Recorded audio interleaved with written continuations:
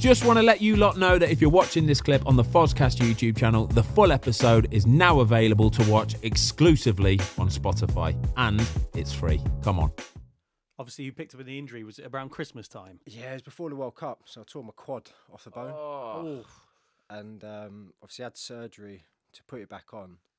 But where he's gone through like all the nerves to reattach it, I've got no feeling in my leg. So it's like, Is that going to come back? he said eventually, but I was like, I'm not going to drag my drag my leg around a pitch. Can you Yeah. imagine that? Like, I can just about move as it is now. So everyone's like, carry on, still got more in your legs. I was like, mate, I don't move out the centre circle now. Really, yeah. I'm chasing the ref if anything. But do- how did you do that injury? Is that in a game? Yeah, literally, I hit a diag. I felt it rip. I thought, oh. two seconds later, ball come to me. I passed it five yards, and an explosion like in my leg, like I've been shot in my leg.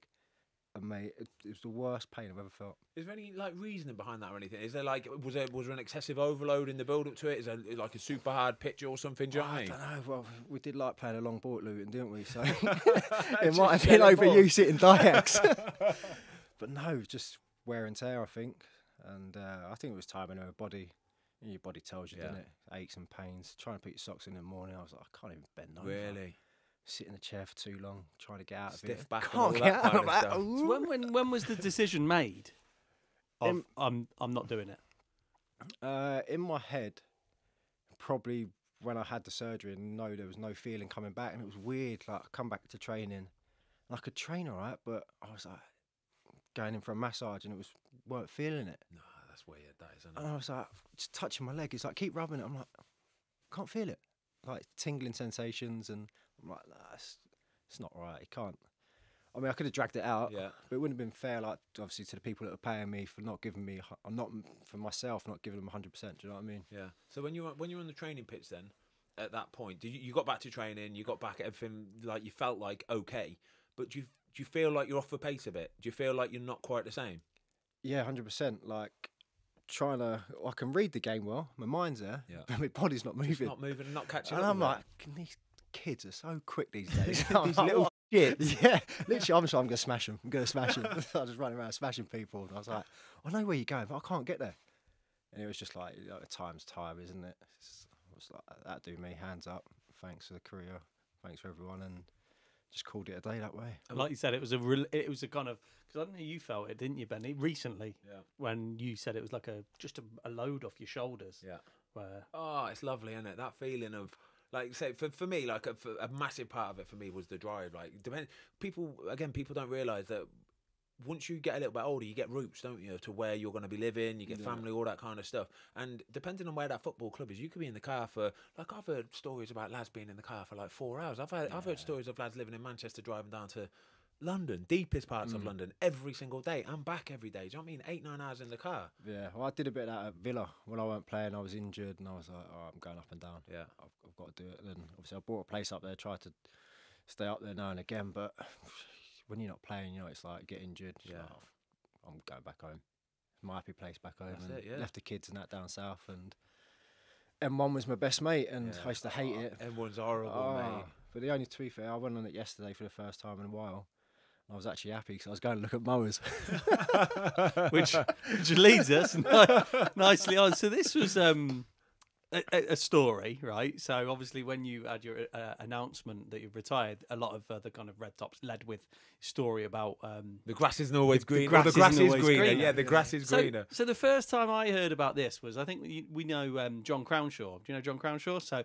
Um, like an agent, agent guy, and he said to me last year. He's talking to us. I think we had a beer with him, didn't he? He said Henri Lansbury's um, obsessed with lawns, like lawns and mowing and maintenance and growth. And I said, okay, that's interesting. It's really interesting because it's a little bit quirky, I guess, for a footballer, isn't it? Yes. And um, and funnily enough, that week he told us about it. I was had the TV on, and you were playing for Luton, and you scored that rocket. Absolute rocket, yeah. And I noticed then you went off and did a lawnmower impression um, celebration. Celebration. I don't think anyone knew what it was about. And I text John straight away saying, "Imagine that! Like that was that was madness. Where did it come from? The obsession with lawns." it was during like the first lockdown.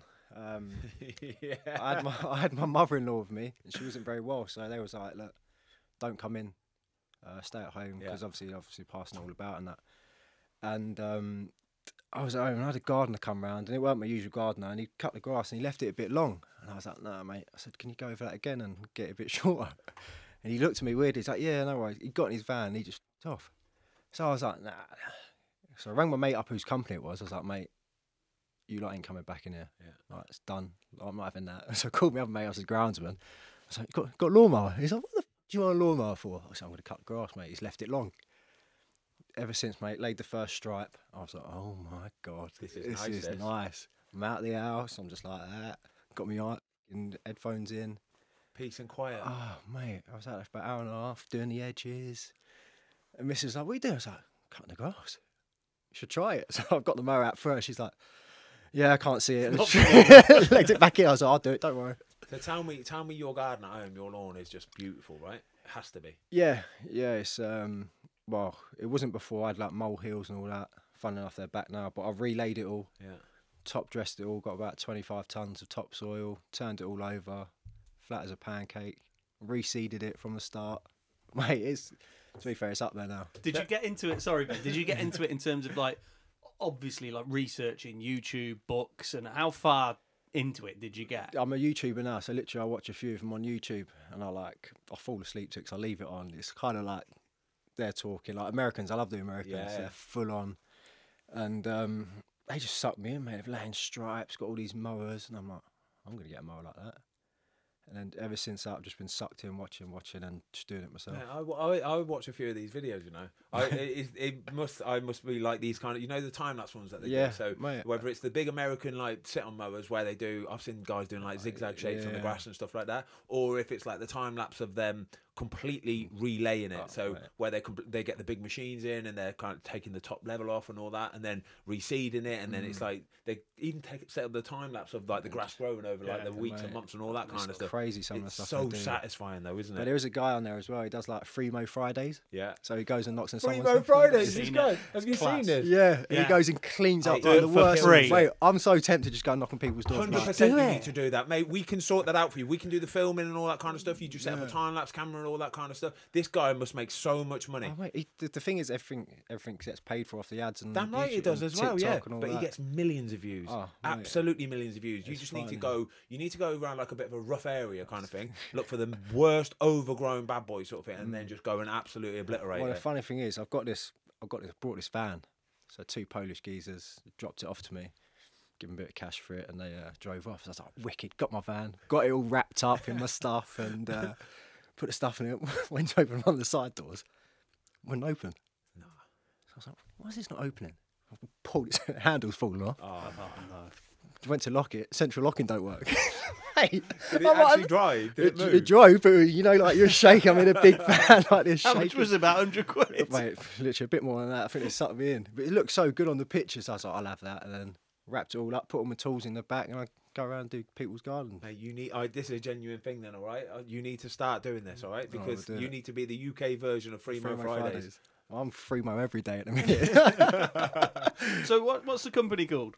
my company's called Grass Gains. So as the story started, back to the misses again. It was obviously, you know, all the keep a football pitch, you have to spray it for weeds and all that. So I was getting to know all the stuff, and I was like, and then my mate was spraying it for me. He was like, right, kids can't go on it for a bit, dog can't go on it. So I was like, you know, what's, what's in it? He was like, oh, it's toxic, but it's brilliant stuff. Like no weeds and that in the garden. So Mrs. Vats ran out. I was like, whoa, whoa, whoa, can't go on it 48 hours. She's like, what? I was like, it's been sprayed. She's like, why haven't you got no non-toxic stuff?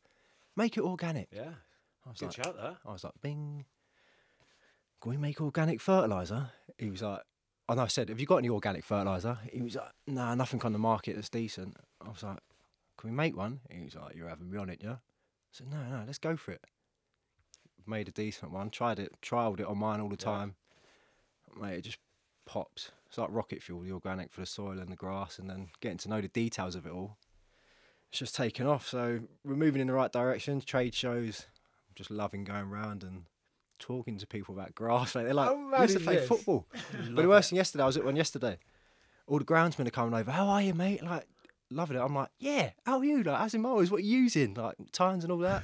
and they're like, like, why have you gone into grass? I'm like, I love it. I love it. I've got the addition. Now, like, Leicester invited me up to go, 'cause you know how good Yeah, Leicester's is. beautiful, isn't it? I was like, oh, I'm going to have to come up and new training grounds. And Just show me around, have a little look Yeah. and all that kind of stuff. He's like, we've got 48 mowers, and you can have a look at. I'm like, ooh. that it's so weird, but I love it. Everyone laughs at me, but I I laugh, and then they call me up. Can you come to my garden? Well, there you go. Do you know what I yeah, mean? there you go. Are you doing a bit of work? I read online. Are are you doing a bit of work with Fulham, Genk, Arsenal? Yeah, so they're taking the fertilizer. Um, so obviously the boys' connections that I work with obviously have links in, in the clubs and that, and clubs are trialing it. And down at Hale End now, he's Nick down there. He's brilliant. He's uh, he's hilarious, and he's like, "Come down, come down, mow with me." I'm like, "No, f- can't wait. but you can buy some fertilizer if you want." Yeah, and he's, right he's well. taking the fertilizer. Fulham are taking it. Pictures look amazing, Yeah. but it's obviously not just the fertilizer; it's the guys that are on it 24 seven, isn't they? taking care of it. Yeah. Well, to be Yeah. fair, the Watford, um, the Watford groundsman made that pitch. He just got that t- uh, thing. Is He he, won groundsman that of the year. groundsman of the year a couple Yeah. years in a row. That place was an absolute joke, honestly. Well, I spoke to him. When did I speak to him yesterday? Scott we- Tingley, by the way. yeah. Shout out, Scott. he's um, taken one of our germinators. Yeah. So we made this like machine. It's like put seed in it, stab it in the ground, and your seed germinates. Yeah. It's a bit like the Shermanator. so we call it the Germinator. Do you know what I mean? So we're having a laugh of it, but it's mate, they're flying. We just um, got an order off Real Madrid for twelve of them. Shut up. So I'm like, I'm like hand delivery to Madrid for a couple of days. Absolutely. right as well. So it's going in the right direction. But it's just it started off as a laugh, but Yeah. let's serious take it business serious now. Is it, is it true you had a patch of your own at, at Luton? Yeah, the facilities ain't the best, and there's only a few groundsmen. Shout out to them, like they'd work hard. But um, I took over this patch out the front of the changing room, and uh, Current player. What, whilst You- you, were you still were playing? still playing? Yeah, yeah. I'll, take my van. Like I said, got my van wrapped up, rolling early. What are the boys saying to this, by the way, when Yeah, you're what the bowling up in this van? What is this mad Dude, geezer? Like, the worst thing is, the funniest thing, I went in early one one morning, so I've got my hood up, got my work stuff on, and I'm, and I'm mowing. Groundsman's come over. He didn't was me. He's like, "What are you doing? What are you doing?" I was like, "Oh."